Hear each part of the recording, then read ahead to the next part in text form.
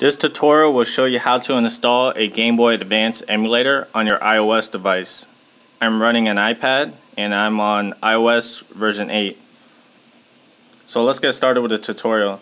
So first you're going to go to settings and then you're going to go to general and scroll down to date and time and you're going to turn set automatically off and we're going to roll back the time to August 1st 2014 the time doesn't matter.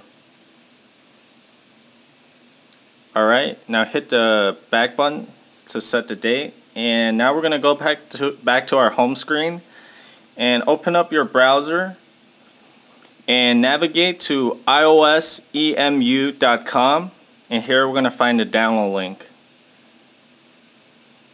So click on the download link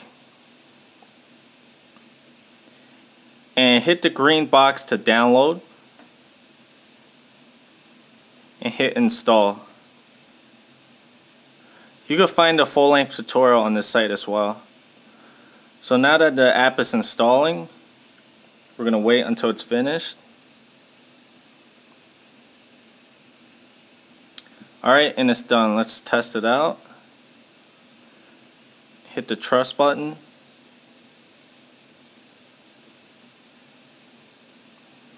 And there you go, the Game Boy Advance emulator for your iOS device. Thank you for watching.